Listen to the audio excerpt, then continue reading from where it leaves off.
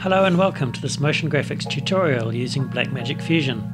This project is inspired by some motion graphics from Assassin's Creed Syndicate, which just goes to show the learning potential of grabbing some piece of motion work which catches your eye, loading it into Fusion for reference, and then having a crack at reproducing it. These tools and techniques definitely aren't groundbreaking. In fact, they're mostly essential skills such as wipes, gradients, keyframing, and so on. But even simple techniques can be combined to produce decent results. This project should help build up your speed and fluency with these bread and butter techniques, which will help with expressing your own vision on other projects.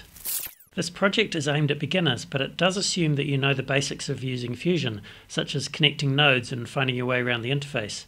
There's a lot of ground to cover, and I got a bit carried away with squeezing everything into 30 minutes, so I'm going to move pretty quickly, and you'll need to pause the video quite often. For those of you who find the main project a bit simple, here's a fun bonus challenge for you.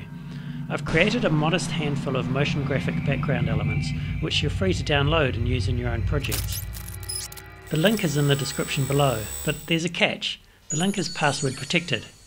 So here's the password. It's a little difficult to read, but I've hidden a couple of keywords in parts 2 and 3 of this video. If you find those and overlay them, using Fusion of course, so that they invert the image, you'll be able to see the password. If you figure it out, congratulations. Let us know how you get on in the comment section, but please try to avoid spoilers. Now, let's get started on building the Level Up project. The only media you really need for this project is the background image, and the download link is in the description below. I've also provided a layout guide to help with placement and scaling in case you're a stickler for precision, but of course you can just wing it if you enjoy living dangerously. Everything else we'll create in Fusion. There's also a link to the finished project.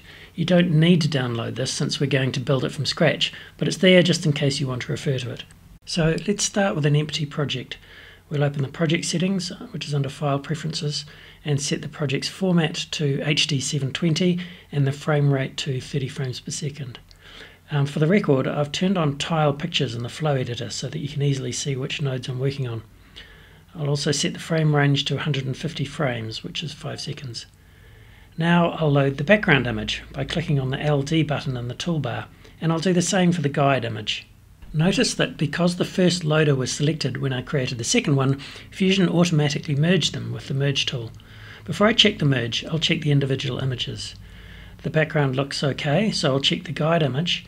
Whoa, it's a lot of yellow. I could have sworn it looked more like this when I made it.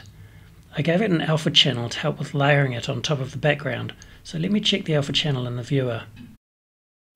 That looks the way it should. The idea is that the black areas should be transparent and the white lines opaque. So what's going on? Without wanting to get too bogged down in a Pandora's box of mixed metaphors, images with alpha channels can be either pre-multiplied, where the RGB channels have been multiplied by the alpha, or straight, where they haven't. Most image editors, such as Photoshop, GIMP or Krita, will save straight by default, and that's what we have here. Fusion can handle anything you throw at it, of course. Let's select the loader node with the guide image, and in the Import tab in the inspector, turn on Post Multiply by Alpha. Now it looks better, and we can turn off the checkered underlay if we want to see it against a black background. Now I'll check the Merge node, and that looks good too. I can toggle the guide layer on or off at any time by setting its loader node to pass through, which will basically disable the node. In practice, you'd hit Control P to toggle pass through. Go ahead and save your project because we are finally ready to get the show on the road. We'll start out as simple as it gets with this rectangular wipe, which I've slowed down to half speed. Notice how the default keyframes are linear, which gives it a very uniform motion. Contrast that with putting a gentle ease out at the top of the wipe and then slamming down to the bottom at full speed.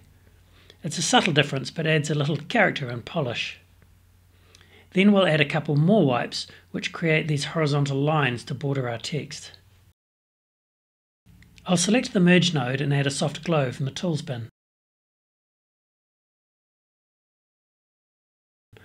I'll load that into the viewer and oh, it's a lot of glow.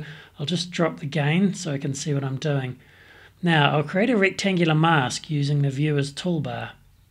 Now I can select the glow node again and dial in a nice subtle amount of gain. I'll go for 0.4. I want to position it over the right side of the image, so I'll select the mask node and make the viewer full screen by pressing F4. I'll use the yellow guidelines to help me position it. Now I'll add another rectangular mask in the same way, and by default the two get added together. The way they combine is a little hard to make out, so let me temporarily bump up the glow just so I can see what I'm doing. Before I adjust the glow, I'll click on the S2 button so that later on, when I want to restore my original glow settings, I can just click on the S1 button to get them back. I'll name the new mask Wipe Glow. I can use the paint mode to control how the two masks combine.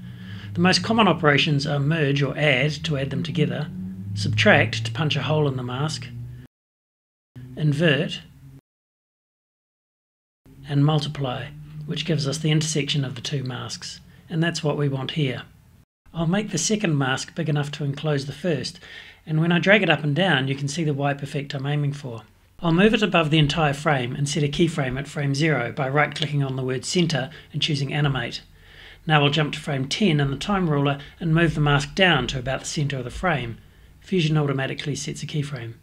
Finally, I'll jump to frame 20 and drag the mask right off the bottom of the frame to set the third keyframe. And it's time to check my work. I'll set the playback range to 50 frames and press play. And it looks good. We just need to adjust the motion a bit in the spline editor. I'll click on the selected button so that only selected nodes get shown and the all button to show everything in the list. I can press Ctrl F to fit my curve to the window and I'll select the first keyframe and press the F key to give it flat tangents, in other words ease in and ease out. The second keyframe is a bit tricksy because we want the in tangent to have a steep angle but the out tangent to be flat. I'll make sure that the in tangent is quite steep. Now if I try to adjust the out tangent, notice that the two handles are locked together and I'll mess up my in tangent. So I'll undo that and hold down the control key to adjust them separately. Finally, I'll give the last keyframe a bit more slope. Now I'll play that back and it looks good to me. And that's it for the first wipe. Now we need to do another wipe, this time on the left of the screen and wiping from bottom to top. And it starts on frame 20 just as the previous one finishes. Now like everything else in this project there are countless ways you could approach this such as combining three masks on the one glow, or using a dissolve wipe, or a gradient, or whatever. So feel free to do whatever makes sense to you. I'm kind of in a hurry and also a bit lazy, so I'm just going to repeat what I did the first time. So go ahead and set that up now. In case you want to recap, here it is again. I'll duplicate the glow node using copy and paste, and then create the first mask and position it over the left side. Create a second mask and resize it to enclose the first. Set the paint mode to multiply, then keyframe it below the screen on frame 20, centered on frame 30, and off the top of the screen on frame 40. I'll adjust the tangent handles like I did last time and play back the result, this time with the more subtle glow settings. That was a bit repetitive, but at least you can now animate wipes with your eyes closed, which is just as well because there's one more to go, but thankfully it's a bit different. I'll duplicate my glow node yet again, give it a mask, and position that using the guidelines, this time over the area where the text will go.